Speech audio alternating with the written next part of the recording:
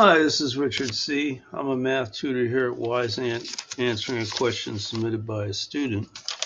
This is a fairly easy question from geometry, but it involves some algebra, so there's a combination of skills that are needed here. Okay, so let's get started. The uh, the volume of uh, a box, they're calling it a box, which is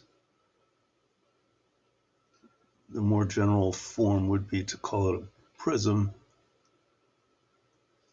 But the general way that you can find a uh, volume of a prism here, I'm just going to do a rectangle.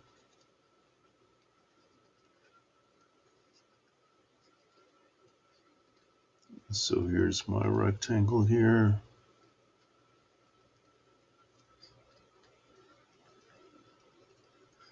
So this is the length. Let's call that the length and the width and the height. And the volume is the length times the width. I'm going to put a little parenthesis here times the height. Because another way of writing the volume formula is that it's the area of the base, which we represent with a script capital B times the height. And this is uh, the way it's taught, depending on what level of geometry you're taking in the school you're attending. Now, in this particular problem, we'll talk about box one. And I'm just going to change color here.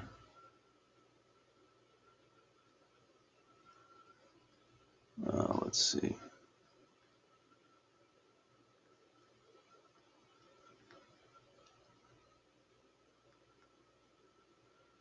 I'm trying to remember how to change color.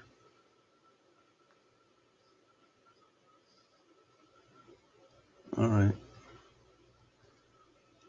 It shouldn't be that hard.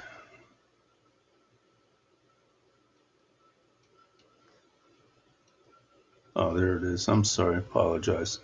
So box one will make that the green box. And you can see we need to look at it from this perspective. Volume equals the area of the base times the height in order to deal with this problem correctly. And you can see that the area of the base is x. So length would be x here, and the width would be 3x. Uh, it's, so it's going to be x by 3x is the area of the base. Now, coming over here, they're saying the overall dimensions are x. Well, we've already got an x. And then we've got a 3x here. And then an x cubed would be here. So the answer here would be the number of terms in the polynomial representing the volume would just be one term. The volume is going to be x, let's see, x times 3x times x cubed. So that's going to be 3x to the fifth. Okay, so it's one term. It's a single term, 3x to the fifth, single term here. And they might want to know the degree, and this would be a fifth degree. Okay, so let's go ahead and we'll do the other one. And I'll put this in purple here. So the volume here is going to be x times 4x minus 1. That's the that's the area of the base. And then times the height, which would be x cubed. Okay. And now we will multiply this out. So it's going to be, let's just deal with the x's first. So this is going to give us x to the fourth times 4x minus 1, and then we'll distribute the x to the fourth. So we get 4x to the fifth minus x to the fourth.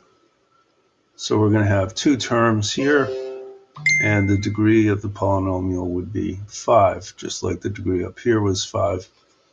But this was a single term, and this is two terms.